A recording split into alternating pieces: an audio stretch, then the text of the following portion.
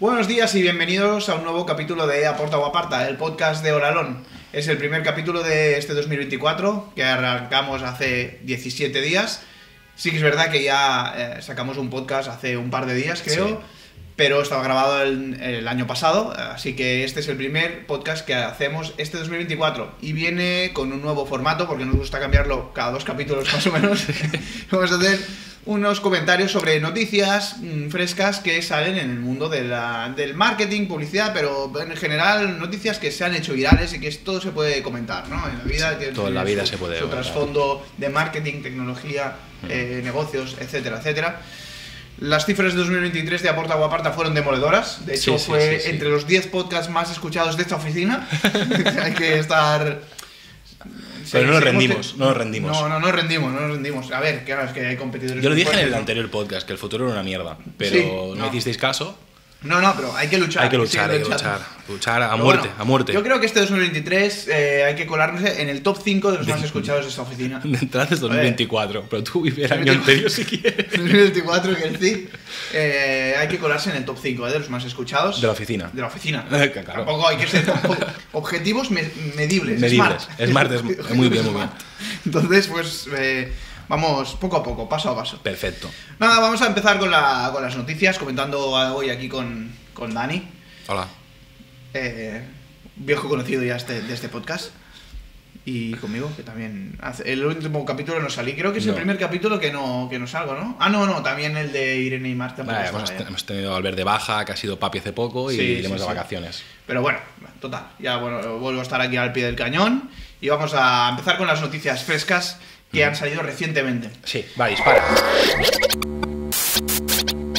Vamos, vamos a empezar eh, con una que quizá ya hace unos días porque es de fin de año, pero se ha vuelto a poner otra vez en la palestra a raíz de una nueva publicidad. Se trata del co-branding que está haciendo Netflix, concretamente con su serie de la... Berlín. De Berlín, que es el spin-off de La Casa de Papel.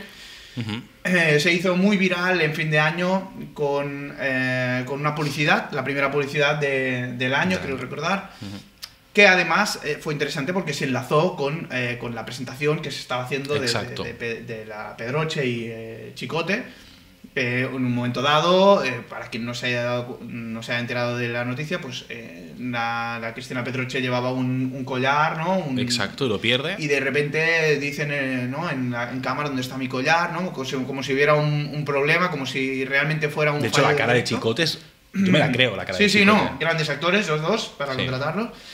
Y luego, acto seguido, aparece una publicidad en el que el actor de, bueno, el personaje de, la, de Berlín Mm. eh, representa que está eh, perpetrando el robo de ese collar Mm. y lo enlaza con, con, eh, con la cerveza de, de Estrella, Estrella Galicia. Galicia. ¿no? Eso fue un, un co-branding que hicieron Netflix y Estrella Galicia para hacer esa publicidad conjunta en la primera, el primer anuncio del año. Hace muy poco ha salido también el anuncio de Mikado, en el que también el mismo personaje de, de Berlín está tramando un plan que está haciendo pues, como con Mikados Ujú. para mm, atacar o Bueno, boicotear, a su, boicotear a su vecino vecino por las obras. porque está haciendo obras. Vale. Y es un poco el mismo concepto. Es un actor de una serie, bueno, se está haciendo un personaje de la serie de Berlín y ese- en ese caso se, con- se une con Mikado para, para hacer ese, ese co-branding. Quizá no de una manera tan evidente como en fin de año, pero bueno, al fin y al Sí. cabo. De hecho, yo tengo mis dudas, ¿eh? realmente, de que sea, ahora pensando, mientras lo hablábamos antes, tengo mis dudas de que la acción de Mikado sea un co-branding como tal. Porque realmente sí que él sigue su papel como ladrón y tal, pero a lo mejor no es, no es tan evidente. Yo creo que a lo mejor tiene más peso la figura y el, Ujú. bueno, y el push que está teniendo este, este actor ahora mismo en el mercado, por los éxitos estos que está teniendo y el personaje que, que lleva a cabo. En cambio, el día de, bueno, eh, Año Nuevo, es decir, a Ujú. las campanadas, sí que fue extremadamente evidente, ¿no? La, la colaboración de Netflix, de Galicia. Sí, fue de una manera, o sea, al final del anuncio directamente salía, ¿no? Exacto. Berlín, la casa de papel. En el caso de Mikado, no. No aparece. Y de hecho, estábamos comentando antes, si alguien no tiene ninguna referencia, ningún contexto de, de Berlín o de la casa de papel, puede no entender eh, qué es ese personaje. Es decir, el anuncio tiene sentido igual, es alguien que está tramando un plan para boicotear al, al vecino, pero, Exacto. no, pero Sí. no se ve directamente que No, es no, Berlín. si, ¿no? si vives en una cueva de los últimos cinco años y no sales de allí ni para comprar, Sí. Entonces a lo mejor no entiendes nada. Entiendo que el target de Mikado eh, es... eh, Bueno, sí, exacto. ya sabe, sabe quién es Exacto. perfectamente Berlín. Lo y- identifica, exacto, Entonces, totalmente. Bueno, yo creo que quizás es un co-branding menos evidente, pero yo diría que también sería un co-branding. Aprovechamos para matizar que un co-branding pues es, es justamente eso, ¿no? Cuando dos marcas se, se unen para hacer una acción publicitaria conjunta. Exacto. Eh, Dos marcas que al fin tienen que tener puntos en común. Sí, con, muy con valores afines, afines, o con exacto. audiencias, con puntos en Marcas común. amigas, ¿no? Podemos decirlo de alguna manera, Sí. que puedan tener puntos en común, audiencias en común, eh, bueno, objetivos comunes también. Claro, claro. O sea, no, no se va a, juntar Estrella Galicia con Toys R Us, por Exacto, ejemplo. exacto, es, eh, Entiendo que el target es muy, muy, muy diferente y no tendría sentido, ¿no? Es decir, tiene que haber una... Mm. no, yo creo que encima la, la- la acción está muy bien hecha, porque de alguna manera eh, sí que al final, después, días después, ves eh, por TikTok, ves cosas que la gente, comentarios de la gente, especialistas de marketing que lo hablan y tal, y es, se vuelve muy evidente la acción, pero en su momento, cuando estás en directo y lo ves, hostia, está muy bien, muy hecha, ¿no? Al Sí, final, sí. como cuadra bien el movimiento ¿no? de, de Pedroche y tal. Encima la gente está muy pendiente, genera la expectativa Pedroche siempre, que este año ha hecho una campaña propia ella con vídeos, desnuda por la calle, tal y cual. Eh, se me genera mucha expectativa lo que va a llevar- de vestuario, con lo cual pierde algo del vestuario, que es la joyería en ese caso. Eh, Se corta, la cara de Chico es un poema, aunque su cara en el día a día es un poema de por sí. Eh, y después hay el robo, ¿no? Casualmente la serie sale dos días antes, bueno, está muy bien ejecutada en ese sentido.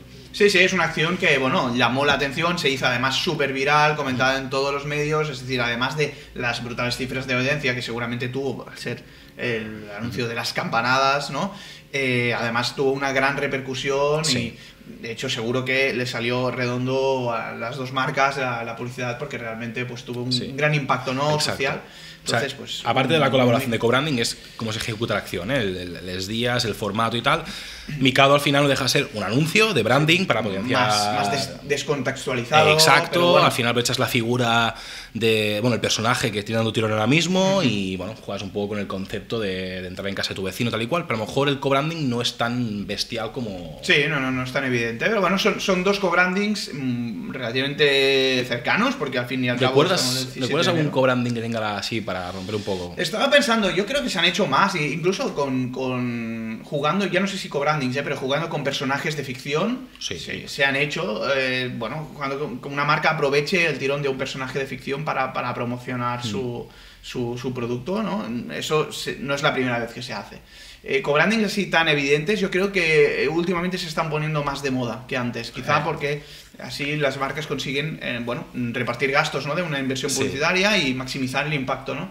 Hmm. Eh, pero no sé, ¿no? No hay nada que hacer ningún tampoco. Sí que viene que hacer acciones de, de Netflix muy, muy bestias, aprovechándose de los personajes, como, como lo que hicieron de la Blanca Navidad con la lona de Pablo Escobar, bueno, de, de narcos, eh, ese tipo de acciones, pero Sí. al co-branding no me viene ninguna a la cabeza. Sí, bueno, Bueno. pero en fin, en conclusión, eh, sobre todo también lo hacen, es más común en marcas más pequeñas, precisamente porque tienen menos medios, entonces no se pueden permitir grandes campañas por sí mismas, pero si se juntan con otra marca afín y le pueden dividir este, este gasto, pues eh, es mucho más rentable, ¿no? Y además, pues los números suelen ser buenos.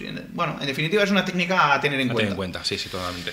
Vamos ya con la, con la siguiente noticia, que es una noticia que es, eh, ha salido también recientemente, que ha levantado mucha polémica, que es el logo de turismo de naturaleza de Castilla y León, Sí, es- que ha desatado la polémica porque es un logo que, bueno, me tiene fascinado. es un logo que, a ver, tiene, tiene cositas a comentar, ¿no? Al final, para gustos colores, ¿eh? Tampoco soy yo quien para juzgar. Sí, pero hay, hay colores y colores. Hay colores y colores. Esto es difícilmente justificable porque el logo, pues a ver, El logo fue de cojones. el lo- el logo es muy feo. Sí que estamos de acuerdo de que no, porque es- es- ha sido sin, no se ha gastado dinero según dice la noticia o dice el ayuntamiento en cuestión. Eh, Sí. Bueno, Bueno, lo- es, lo la comunidad de Castilla y León. Ah, la o sea, comunidad, perdona, la comunidad, representa pero- que es la, la- digamos, la, el turismo de naturaleza, que es algo muy concreto y representa que es como una especie Pues de... mira, si la expectativa del logo tiene, o sea, si el logo tiene que generar expectativa con la naturaleza que hay allí, Sí. vamos. Sí, claro, dicen, dicen que no es un logo definitivo, que es simplemente un sello que las entidades que participen deben... Sí, pero ¿no consideras que es como una falta de respeto con nuestra profesión? Porque imagínate que un cliente te pide una, una imagen, ¿no? Un ayuntamiento, Sí. una empresa privada, lo que quieras, y presentas algo parecido a eso y dices, no, no, es que es un esbozo. ¿Tú, tú qué crees que el cliente te va a decir? Hombre, es que esto no, no es ni un esbozo, o sea, eso parece hecho con el paint eh, con- en un minuto y medio. O sea, es que no está ni bien recortado, es, es- es un insulto a la inteligencia. Tiene- no cumple ninguna, ninguna característica para ser un buen logo. O sea, ni, ni, ni, ni siquiera se acerca, o no, no puede ni, ni serlo, ¿no? No, no, no, es- yo creo que se acerca más a un dibujo de, de mis sobrinas que, Claro, claro. y que, que seguramente mis sobrinas lo van a hacer mucho mejor. Sí, sí, sí. O sea que realmente no, no es ni defendible, ¿no? Dicen, se justifican eh, la, la- la comunidad en cuestión que es un, simplemente un esbozo mm, que para sacar, digamos, a trámite la- las li- licitaciones o documentación correspondiente, bla, bla, y que es provisional. Pero sí es verdad que, ostras... es Una, algo una que comunidad autónoma una comunidad no, se puede debería- permitir hacer eso. Exacto. Hay muchas formas de. Existen herramientas, ¿no? Inteligencia Sí, sí, sí. artificial o incluso Canva, que sacas logotipos Sí, sí, sí. como churros, que quedan- pueden quedarse Sí, curiosos. sea- y- claro, si, si vas a presentar un esbozo rápido, pues al menos haz un esbozo que sea, Bueno, es que al final ya que se ve- decente, ¿no? Que tenga, que tenga al menos un- un una conceptualización, algo que se acerque a ya lo que puede ve- ser el ya se ve el partido ¿no? político que hay detrás y ya la, Sí. el fin justifica los medios. Bueno, conclusión, que el logo pues tiene, tiene, tiene miga, ¿no? Bueno, pero igual que el del otro que tenemos que comentar, de El, Benalmádena. el otro también tiene su... su- Es- su es una curiosidad, ¿no? ¿eh? Porque- Es una curiosidad, sí. Nos ha pasado antes que estábamos mirando noticias y tal, hablando, y yo he tenido un lapsus, a ver también, que mm, decíamos, hostia, pero la noticia tampoco es. A ver, sí, el logo te puede gustar más o menos, pero a ver, es una actualización, ¿no? Hasta nos hemos fijado de que el logo de Benalmádena, que vais a poder ver aquí, no, supongo que me- nuestro compañero lo pondrá aquí chulo, ¿no? Aquí, Sí, hombre, claro. eh, lo que hacen es volver atrás. Es Sí. decir, un logo que tienen más o menos normalizado, por una pijada o por un capricho de alguien, se quiere re- eh, volver a aprovechar el logo del año 70. ¿Qué pasa? Que eso tiene unos costes monumentales. Correcto, eso es el ayuntamiento de Benalmádena que ha decidido pues retroceder, digamos, en el, eh, su imagen su imagen corporativa y va a volver a ese logo de los años 70 que, que realmente, bueno, vamos a poner los dos logos aquí. Evidentemente el logo que tenían, eh, que estaban utilizando hasta, hasta la fecha, pues era un logo más actualizado, más Sí, moderno, sí, sí, más actualizado, más simplificado, que a nivel comunicativo, pues entiendo que funciona mejor. Bueno, al final es un escudo, la tipografía, bueno, al final es algo más... convencional, Normalizado. bueno, que sí, más, más, propio a los tiempos, Exacto. a los tiempos que corren, ¿no? Se ha, se ha vuelto atrás a ese logo que puede tener su sentido, pero evidentemente se quejan desde la oposición de- del ayuntamiento de que esto evidentemente va a costar un 150.000 euros, ¿no? 150.000 euros en rotulación de toda, bueno, eh, pancartas, rotulación de los vehículos, etcétera, etcétera, no toda la comunicación correspondiente y dicen que es absolutamente justificado porque además pues no, no, no se ve un progreso si no se ve eh, No, y ningún tipo de justificación, porque lo hablábamos antes, ¿no? Nosotros. eh, son- bueno, a mí me- pues, personalmente me gusta mucho el concepto del rebranding, ¿no? Entonces, hostia, si tú quieres volver atrás, dices, no, mira, Sí. es que quiero. Por una campaña publicitaria, por un concepto de imagen, por un concepto turístico, lo que tú quieras. Eh, Hmm. que dices, no, quiero volver al logo de los años 70 porque tiene una intención, pero coño, haz un rebranding. Sí, eh, evidentemente hay muchas maneras de volver atrás. De hecho, hace muy poco Burger King presentó su, su rebranding que de hecho mira a, Exacto, atrás. mira atrás, y- pero, pero se ve moderno, pero, pero tiene esos toques Claro, más, eh, bueno, más retros. inspiras en, en- el pasado, en una visión más, más retro de tu marca, pero la actualizas. Es decir, volver atrás tal cual no tiene mucho sentido. Bueno, la no sé si ha vuelto tal cual, ¿eh? pero eh, si Bueno, no ha vuelto pero- tal cual. O sea, si se ha si hecho es esto, eso- es para, es para aplaudir. también. Sí, es como la política de este país, ¿no? Vuelve hacia atrás. Pues es un poco la imagen Sí, corporativa sí, igual. Ahí, ahí va. Pues bueno, eh, eso también interesante, ¿no? En el, en tema del, del rebranding, que eh, digamos que si haces un rebranding es para actualizar tu marca, para acercarla a, la, a los Exacto, tiempos que, que- corren, ¿no? Y no para, para volver a una visión de los años 70. Sin ningún tipo de justificación, insisto. ¿eh? porque si hay una justificación detrás, Claro, eh, por favor, Ayuntamiento de, Ayuntamiento de Benalmádena, que nos lo explique. Que nos lo explique. Y nosotros pues recortamos esta parte y la obviamos, pero Claro. queremos una explicación de por qué, de por qué eso. de, que, ¿Por qué? de por qué tirar um, atrás un logo que, que en principio te puede gustar más o menos, ¿eh? Pero funcionaba. Entonces, Sí, tiene sentido. tiene, tiene sentido un, un escudo de un ayuntamiento, etcétera, pero se ha vuelto a un logo que, bueno, bueno eso, muy anticuado, ¿no? De a 50 años atrás, entonces, Sí. pues eso, es, es raro. Bueno, ya está, no da para más esta noticia, vamos a la, vamos a la siguiente. Eh, bueno, esta noticia, Ahora vienen los toros, ¿eh? Ahora vienen, vienen las noticias. a ver, viene lo bueno, ¿eh? ojo, no os vayáis, pongo- que viene lo bueno. pongo- ¿eh? Ahora hemos hablado de tonterías así, Ah, tal, era- era igual. Ahora vienen los toros, ¿eh? Ahora viene lo guapo. Venga, dale. Una que quería mencionar es que la, la noticia es que las cifras de audiencia globales de Netflix revelan algo que llevaba tiempo gestándose. España es una mina de oro eh, porque las producciones españolas están mm, reventando cifras, ¿no? Especialmente las dos que una de las que hemos mencionado antes, que es el spin-off de Berlín.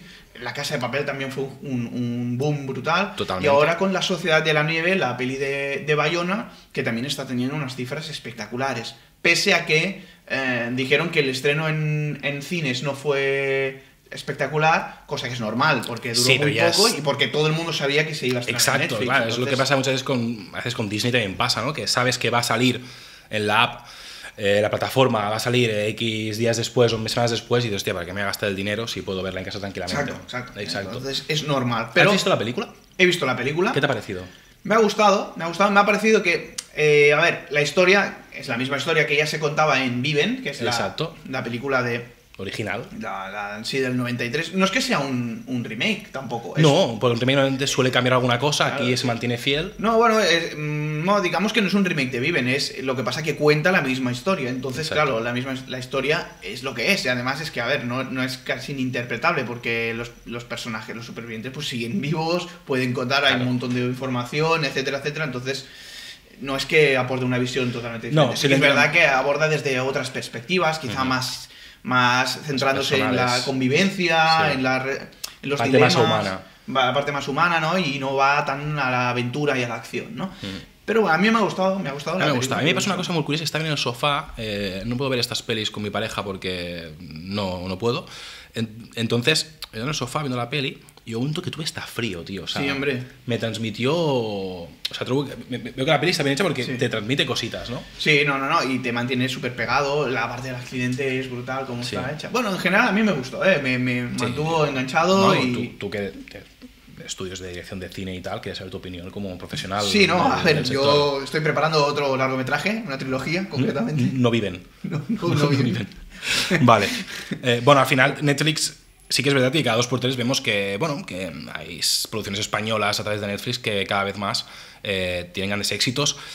Tenemos compañeros que trabajan en el sector, ya quedamos con, con Teto, por ejemplo, en ese sentido, don Alberto, y hablamos de este tema, ¿no? Al final, la gran, al final, tal vez lo que faltaba es la inversión. Si al final tú metes tantos millones de euros en una producción, eh, tienes eh, calidad eh, y nivel a, nivel de, profesionales del sector, pues las producciones tienen que salir bien siempre, ¿no? Sí, sí, sí, exacto. Bueno, y realmente pues está, yo creo, rentabilizando bien esas, esas producciones. y las exprime, porque ahora, sali, ahora no sé, creo que es Netflix también, ¿no? La, la, serie esta de los, machos estos. Machos alfa. Machos alfa, han salido la segunda parte.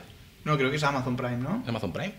Yo diría que, es Netflix, ¿eh? Bueno, no sé. Bueno, pero va una mica, va, un poco parecido en el sentido, cómo, cómo explotan bien los, los recursos, ha funcionado, le meto la segunda parte. Sí, bueno, a ver, al final es, es, ver lo que hacen otros, ¿no? Lo que pasa es que lo está rentabilizando, además, fuera de España, porque sí que es verdad que hay ciertas producciones españolas que funcionaban muy bien en España, pero fuera de España no tenían, especialmente la comedia, ¿eh?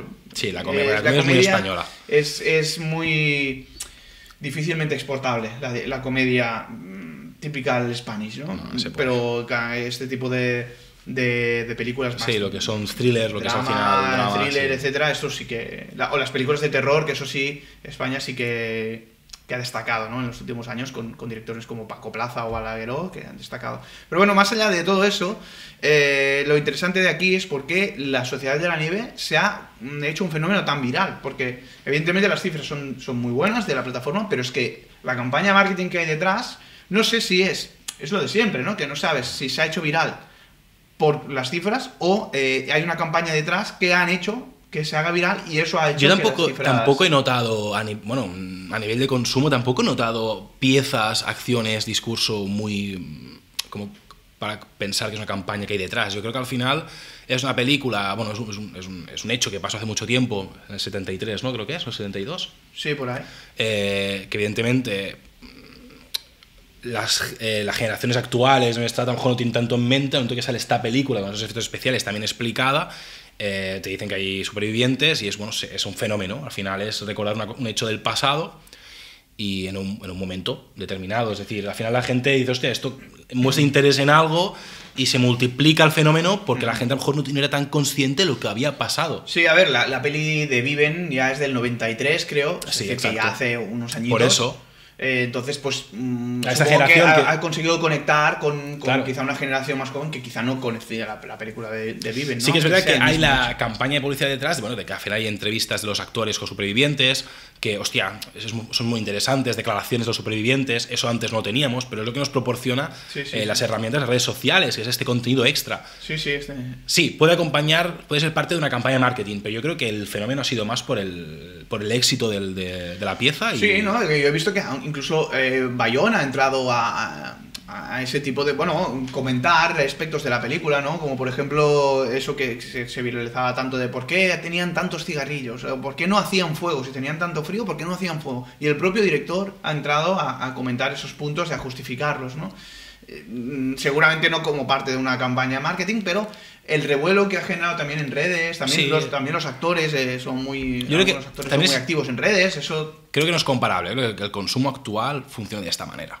Y Sí, la sí. interacción, si está bien hecho, pues la interacción de la gente, las preguntas, Twitter, Instagram, todo permite que la gente comente y haga sus preguntas y sus, eh, y sus pensamientos los haga públicos. Y a partir de aquí ya das comba un poco al... Sí, a ver, la, la, la película ha sido un éxito y eso ha generado viralidad, eso es, es normal. ¿Hasta qué punto hay parte de esta viralidad que ha sido orquestada como campaña de marketing? Pues probablemente parte sí, pero eso es, ya tiene eso la viralidad, ¿no? Tú enciendes la mecha para que luego se vaya expandiendo Exacto, el a partir de aquí a ver qué pasa. Pero yo creo que, bueno, es un fenómeno actual, actualmente, es una película que está muy bien hecha y, y los pasos que ha dado bueno, el equipo de marketing que hay detrás, pues para mí son geniales. Es decir. Sí. poder ver, escuchar a esos supervivientes hablando con los actores, de que ellos se empapan de, de los supervivientes, hostia, creo que es muy interesante y enriquecedor para, Mm. para la producción. Bueno, en fin, pues nada, buena peli, buen director, vale la pena para echar un rato, poner la calefacción que, ojo, te entra el frío. Sí, y no, no estés comiendo mientras la ves. No, exacto.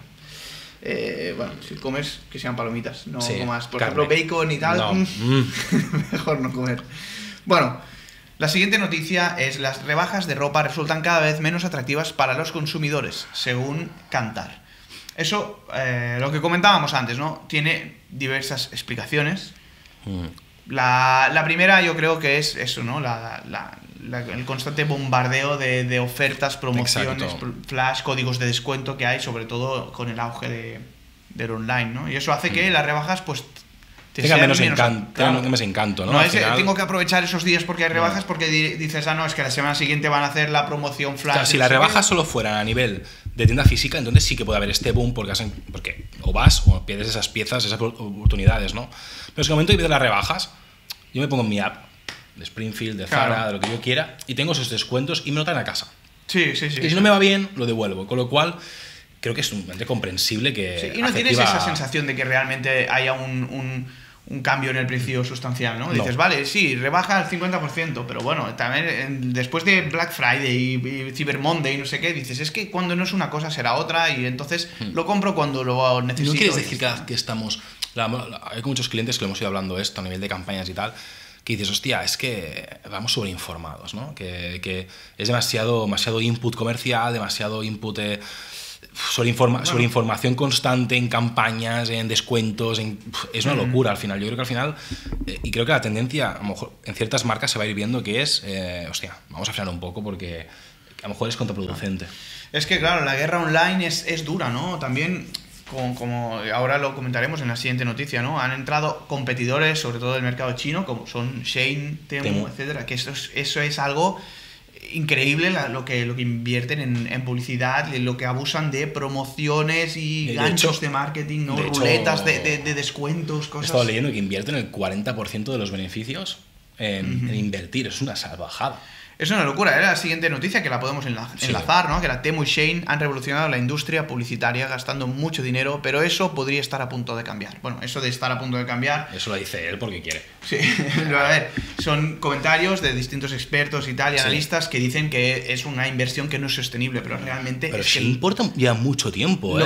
que- sí, lleva, lleva, Temu es más reciente, pero ha reventado, o sea, Bueno, ya es se ha una de las, comido- listas- de las se ha- aplicaciones más descargadas. Se ha comido a lo mejor un poco el mercado de AliExpress Eh, por ejemplo, sí que he notado menos, menos anuncios y tal. Sí que es verdad que no es, no es muy sostenible que una empresa invierta el 50% de sus beneficios o el 40 y pico en invertir en Meta y en Google. Es una santidad salvajada. Es que es, brutal, es brutal la cantidad de, anuncios que tienen por todo, colapsando todo. en Google Shopping, en redes sociales bueno, y otras plataformas, display, todo lo que sea online, sobre todo, eh, está, están online. y de hecho, la Super Bowl, la, exacto, la Super Bowl Temu entra en la Super Bowl ahora. La Super Bowl, exacto. Es decir, una inversión publicitaria gigantesca. Que dicen que esto no puede ser sostenible. Claro, eso también pone muy en jaque a ¿Pero ¿Por qué no puede ser sostenible? Bueno, porque dicen que, pues precisamente porque es una, una, cantidad, una inversión brutal que están haciendo, que en su momento, por ejemplo, hablan de la plataforma Wish también, que hizo una inversión muy fuerte para, para, para comerse trozo del pastel con la estrategia de parar esa inversión cuando ya tenía una audiencia fidelizada. ¿Qué pasó? Que esa audiencia, cuando se, dejaron de hacer anuncios, se fueron a otro. ¿Por qué? Porque cuando compites por precio, no fidelizas con nadie más que con el precio. Si tus acciones son siempre 100% por el precio a nivel comercial, no estás demostrando que tengan que irte por un valor añadido. Es que mis productos son mejores, es que no, si al final tu producto es, es, más barato. Sí, sí. Y ya está. Y he hecho pruebas, ¿eh? En, en Temo lo hice el otro día de buscar, bueno, cositas que me gustan a mí a nivel de, de cámaras y tal. Digo, hemos ahorrado unos duros, tal y cual y no encuentras marcas grandes, no encuentras eh, productos de gran calidad. Yo creo que al final son herramientas para que si me compro unos platos y cosas así. Claro, al final son, son, son plataformas low cost. Es decir, si vas a buscar calidad, ya no la, la busques allí, ¿no? Exacto, vas a buscar cosas funcionales de ropa express sobre todo, porque estos son mm, moda mm. express, pero también cosillas de estas de casa. Sí, de casa, ¿eh? Y mm, chorraditas de estas que, que, dices, es que me da igual una cosa que otra, simplemente pues, eh, quizá aquí la encuentro más barata, ¿no? Aquí es donde estos esas superficies, esas marcas tienen su. Y son herramientas que compras. Nicho, Y compras o, interacciones con la misma publicidad. Tú no vas a buscarlo a nivel orgánico muchas veces. Es cuando te llega la publicidad, te empiezas a chafardear, empiezas a navegar, te dejas la app tal y cual, pero no tiene un producto que genere una necesidad. No, no, no, no, simplemente, bueno, tienen herramientas interesantes, ¿no? Como esa que tiene Shane dentro de la propia aplicación, que le, subes una, una, foto y te busca algo parecido. Que es decir, algo, alguien que por ejemplo, no me gusta este vestido de Zara, pero vale 50 pavos. Y yo no me quiero gastar tanto. Le subes esta foto a la aplicación y te busca una cosa similar por mucho Bueno, es que la IA ha llegado a todos los sitios. ¿eh? Exacto, exactamente. Entonces, eso, claro. Eh, la, plataforma ya está haciendo unas inversiones brutales en muchos aspectos que van a aumentar el, consumo en, Yo creo que, que Shane sí que tiene más duración. Pienso que al final se basa más en el tema de moda, en el tema de ropa. Mm. Eh, Temu es muy un AliExpress, al final son, complementos, son objetos y creo que este tiene una caducidad más, más grande. Saldrá um, tema el día de mañana y se mm. comerá el pastel. Shane yo creo que tiene más, duración. Al final hay un, complemento de, bueno, el tema de, de moda low cost Sí, sí. Que los hemos comprado y que para ciertas cositas va muy bien, ¿no? Lo que sí es cierto es eso, que están, están colapsando el mercado, que eso también lo que pasa es que sube el precio de los anuncios. Exacto, pagas más eh, por clic, porque el espacio publicitario es el que es, ¿no? Exacto, no te puedes nos pasa con clientes nuestros. A ver, si, si tú estás intentando competir con gigantes como Temu, Shane, Amazon, etcétera, ¿cómo, ¿cómo, pretendes que tu anuncio se muestre? hay clientes que nos vienen, ¿no? Que hace Google Ads, he pensado, tal, nos puede ir bien, te explican el servicio, no, quiero invertir tanto, y dices que no, no hace que lo inviertas porque no vas a poder competir, ¿no? Claro, es como un hotel, un hotel no puede, un hotel no va a competir nunca con Booking.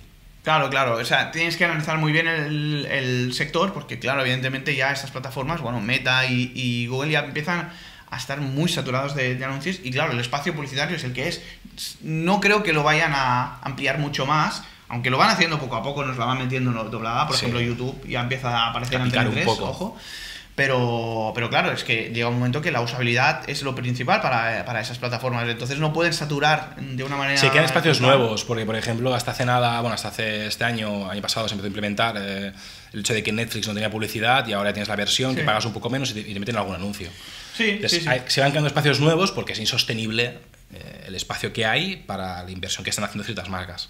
Bueno, eh, sí, entiendo que esos, esos grandes anunciantes también quieren más y más, entonces eh, evidentemente pues se busca, se busca la manera, ¿no? Nuevas plataformas que también ven esa, e, ese, ese ingreso brutal que puede suponer la publicidad, entonces pues bueno, bueno, y además ahora hace muy poco ha salido la ley esta que los influencers o creadores de contenido que promocionen eh, productos tienen, que, mencionarlo directamente. O sea, no pueden hacerlo de manera encubierta como si lo estuvieran recomendando eh, cuando es una promoción pagada, ¿no?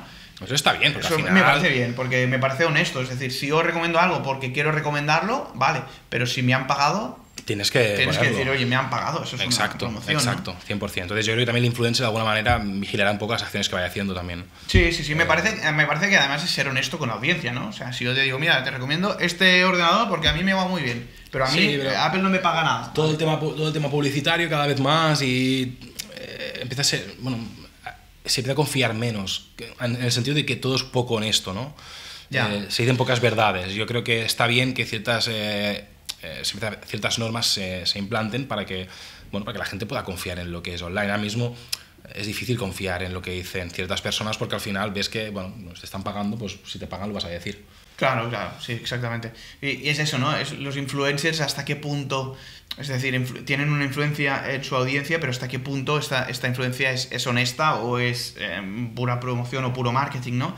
Bueno, eh, esa ley, digamos, que pone la línea muy clara, con lo cual a mí no me parece, no me No, parece mal. estamos de Pero acuerdo. bueno, en fin, que nos hemos ido un poco del tema, que básicamente eso, que las rebajas están eh, pinchando un poco, o los números de las rebajas eh, van un poco a la baja.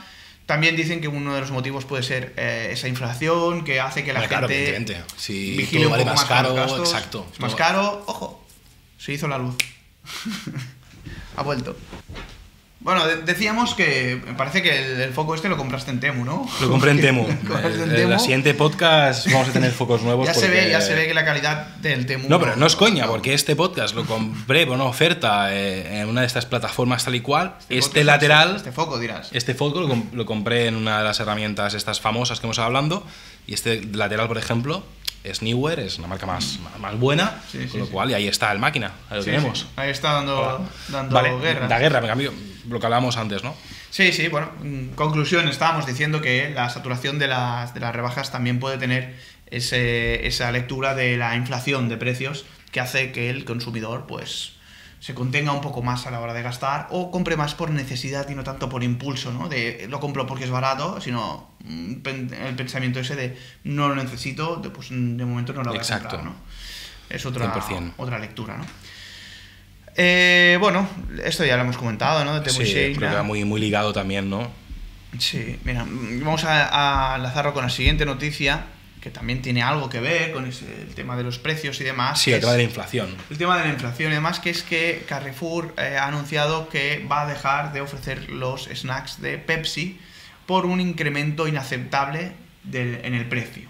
¿no? Claro, al final tienes unos márgenes y si no, si el, aquí es bien la batalla, ¿no? ¿Quién tiene razón, el productor o el distribuidor? ¿Quién, Claro. quién man- quién manda? ¿Quién manda? Claro, entiendo que el pez grande se come al pequeño, ¿no? En toda superficie que se precie, pues va a querer tener pues Coca-Cola, ¿no? Pues encima lo interesante de Carrefour es que ya ha ido haciendo acciones internas a nivel de marketing de, de avisar de los precios, ¿no? Más pequeño pero más caro. Eh, lo empezó a implementar en Francia, eh, en breve lo empezó a implementar Sí. en otros países también. Entiendo que es parte de su estrategia es eh, La- la honestidad. transmitir la honestidad y transmitir que, que- que son de precios bajos. Es decir, si tú tienes la sensación de que vas a Carrefour y te sale más caro, pues quizá vas en contra de los valores de marca de, que están eh, Exacto. ¿no? Entonces, evidentemente también hay una estrategia detrás, no es que quieran que... Bueno, pero al final está menos- bien, está bien un poco jugar con el ser, ser reales, ¿no? Al final es más pequeño, es más caro. Eh, privar a ciertas marcas de, oye, no puedes abusar más porque yo tengo mis márgenes y no voy a subir los precios porque mi consumidor no me va a comprar. Exacto, bueno. Tengo el poder de decirte que no, pues Claro, esto ha saltado, o sea, se ha hecho viral o ha salido en los medios porque precisamente es una marca muy potente en la que está. Pepsi. Porque vamos a decir que Pepsi no solo hace la bebida, sino que hace un montón de snacks, como por ejemplo Doritos. Lay's, Doritos y muchas otras. mm, Bueno, es. Pepsi, es PepsiCo. Es Pe- PepsiCo, exactamente, es una compañía muy muy potente que tiene, que tiene muchos, A mí que deje de- de, de gran consumo y que no estén en una superficie tan importante como Carrefour, pues es, es destacable, ¿no? A mí que deje de vender Pepsi me parece bien. Sí, está malísima. Doritos y Lays me sabe mal, me sabe mal. Me sabe mal, porque al final, hostia, son unos snacks chulos, tan, tan chanchis. Pero Pepsi Bueno, es una sí, claro, si los tienes que pagar a precio de oro, digamos que tampoco, tampoco te, te No, no me compensa, evidentemente, pero, pero bueno, haciendo un poco el. Para Bueno, la estrategia gustos. de. Claro, también puedes hacer como Mercadona, que tiene su marca y la marca líder. Ya está. Punto. Hacendado y eh, Coca-Cola. Ya está. Pero no hay eh, Pepsi. No, no, no. no. La, la líder y mi marca. ya Y me arriesgo a, a decir que de lo que se vende más en Mercadona es hacendado. Sí, sí, de hecho leía una noticia que los números son, son, son muy fuertes. Ahora no sé el porcentaje, pero muy un porcentaje muy alto de, de marca de su propia marca de Hmm. pues no, no solo Hacendado ojo Bosque Verde eh, Deli Plus eh, no sé qué marcas más tiene No- no Deli, Mercadona. Deli Plus es Mercadona ahora no sé No sé, no compro Mercadona. bueno tiene bueno tiene muchas marcas eh, muy muy potentes que, que son suyas propias. Es marca blanca Mercadona. Hmm. incluso hechas por los propios productores que tienen otras marcas como el famoso caso de las pizzas Casa Tarradellas que las hace también para Mercadona no para Hacendado. Eh, pero bueno, conclusión, que son estrategias y Carrefour ha decidido, pues eso, que esos snacks ya no van a estar más, porque, bueno, porque, ah, porque, porque no, pues por aquí no paso, ¿no? Ese incremento tan grande, aunque seas PepsiCo, pues no. Pues el otro no- día leí no un artículo que decía los, los supermercados de más... Ojo. El otro día leí un artículo de los supermercados que desprendía que, bueno, que tienen más, los, los consumidores tienen más confianza en, este, en España eh, y Carrefour no estaba en ninguna comunidad autónoma como líder ni como segunda. En Cataluña estaba Esclat, por ejemplo, Ujú. Esclat Bonpreu.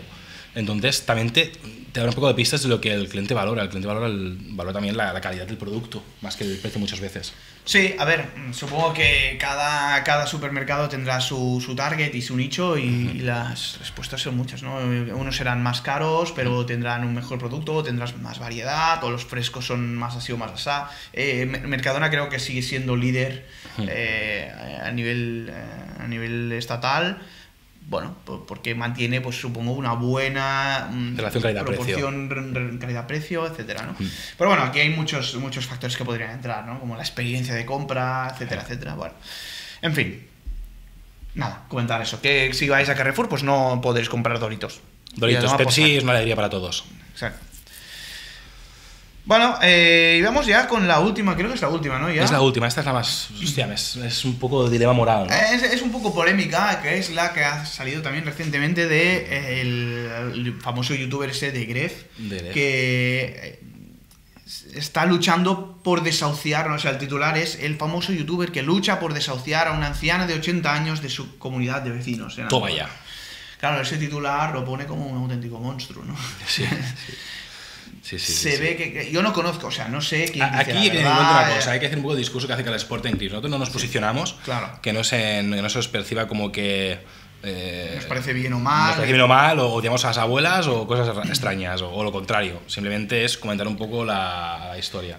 Al final, eh, yo, no, yo no sé la, la verdad que hay detrás de todo esto. Lo que sí sé es que eh, The por ejemplo, ha, ha publicado un comunicado en su cuenta de, de Twitter, bueno, X, pero X. bueno, Twitter, eh, por saco a Elon Musk, sea Twitter para siempre está. bueno, total, que ha publicado un comunicado que, bueno, que, que di- que dice que eso no es exactamente así, que esta anciana ni siquiera, ni siquiera vive eh, en ese piso, Exacto. que todo, que, que es la, la orden de compra ya estaba emitida, que, que además eh, Bueno, se ha hecho, bueno, se ha hecho mucho amari- amarillismo, ¿no? En el sentido Sí. de que cuando dices de esta noticia, yo la leo, ¿no? ¿Y qué te imaginas? Una pobre anciana de 80 Claro. años que vive sola en un cuchitril, Sí, no sé, resulta sin que ingresos. es un pisazo y resulta que es el piso de Pogba, ¿sabes? Exactamente. 122 cuadrados, con dos módulos, un trastero más grande que mi casa. Claro, claro. Eh, claro, eh, se ve que la- esa persona no pagaba el alquiler. Repetimos que es un poco lo que dice Eh, De son- Gref son en su comunicado. versiones, ¿eh? ¿eh? De Gref dice también que eh, esa, esa señora pues ha utilizado que él es una figura pública para, para hacer eco de esta noticia y para ponerlo como de villano, ¿no? A partir de aquí yo no sé quién tiene razón o deja, deja de tenerla. Yo lo que sí sé es que, bueno, De Gref también dice que él no lo ha hecho específicamente, simplemente él sociedad- tiene, tiene- mm, tiene una sociedad que manejan pues una, una gente de la cual él debe ser accionista o y principal que accionista. compraban el piso para, hacer- para reformar, el, hacer pisos nuevos o reformarlos y tal, que cuando se com- compraron este edificio se comunicó a los vecinos que tenían que abandonarlo porque tal, que el contrato de esa persona era de un año renovable y que se lo comunica previamente. Es decir, si lo que dice De Gref en su comunicado es real, pues que mi abuela no me escuche, pero... Eh, claro, es que aquí ya es opinable, ¿no? Porque tú puedes decir que es poco ético, ¿vale? Que, que es de especulación, que es no sé qué, que es comprar un, un No, para bloque mí- para, para mí es- reformarlo y, y venderlo más caro. Para mí especulación es el titular. No, pero lo que hace Gref, al final... El, tit- el titular de la noticia contra de Gref, la sociedad, o lo que sea, eso es especulación pura y dura. O sea, bueno, especulación, es amarillismo. Bueno, ya, pero, pero, pero no estoy hablando de eso. O sea, digo que lo que hace de Gref es especulación inmobiliaria. Es decir, es, digamos, claro. comprar un edificio, reformarlo para venderlo, Venderlo más caro, caro. alquilar Tal, es o- lo que está pasando en Barcelona, que la gente Exacto. no puede vivir allí porque hay grandes promotoras que hacen eso.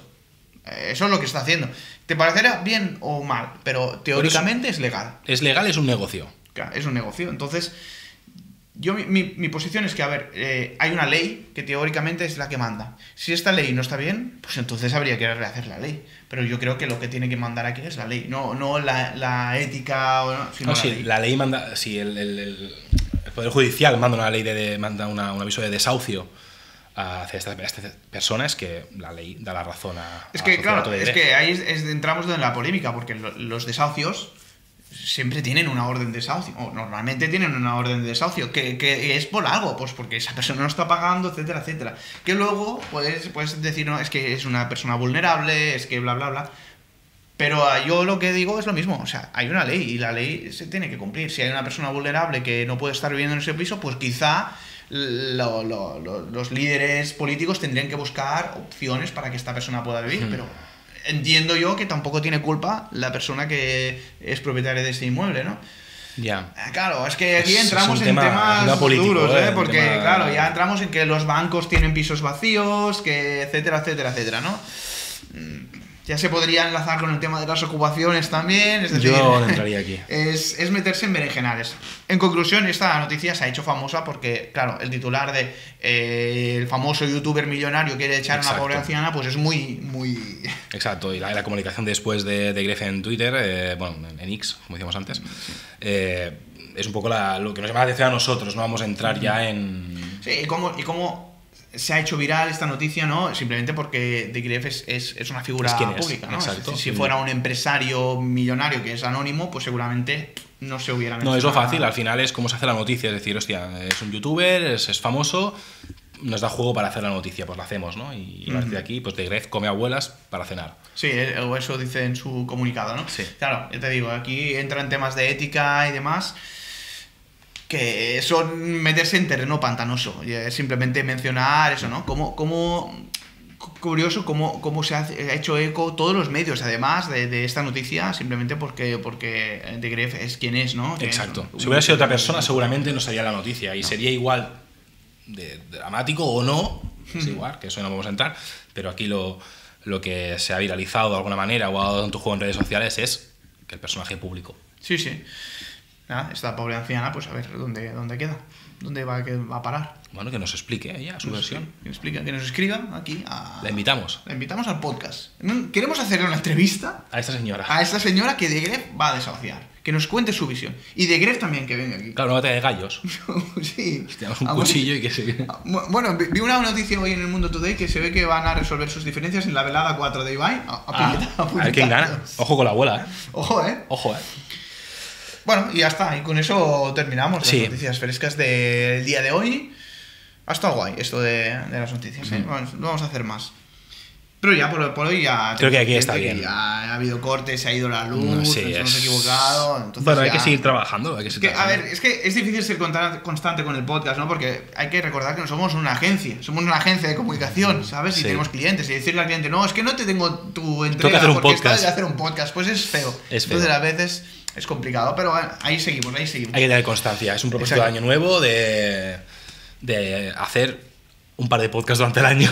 Hemos par. hecho el primero. Un paro tres, vamos. Un paro vamos tres. bien. Y ya está, nada, gracias por escucharnos. Si tenéis cualquier duda, pues nos podéis seguir en redes, eh, comentarnos Ahora en nuestra página web. Ahora en Threads también, ¿eh? En- o- ojo, en threads. Threads, Vamos Threads, a hacer Threads.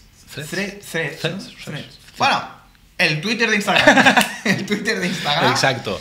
Eh, sí, hemos abierto una nueva red social. Quizá haremos un podcast hablando de eso. Dale. Puede ser interesante. Eh, dilemas, ¿no? De que es necesaria otra puñetera red social más. A mí me, me ha gustado, ¿eh? Me está ¿Te gustando. ha ¿eh? gustado? Bueno, representa que se va a comer el terreno que. De Twitter. De Twitter, ¿no? Porque lo Pero me mola la conexión, que, arriba, me ¿no? mola la conexión que tienen las dos con Ins- Instagram. Al final es de, es de Instagram, evidentemente, ¿no? Pero me gusta la conexión que tiene, cómo puedes interactuar con las dos a la vez, ir cambiando. Está guay. A mí me ha gustado la experiencia de usuario en ese sentido. Bueno, oye, guárdate balas, que si no luego no tenemos temas Exacto. Para, para podcast. Vamos a hacer un podcast recientemente, próximamente, eh, hablando de, de esta nueva red social. Que a lo mejor cuando la hagamos ha salido otra ya. Seguramente, pero bueno, está la magia del marketing, amigos, cambiando cada día. Nada, hasta la próxima y chao. Pescado.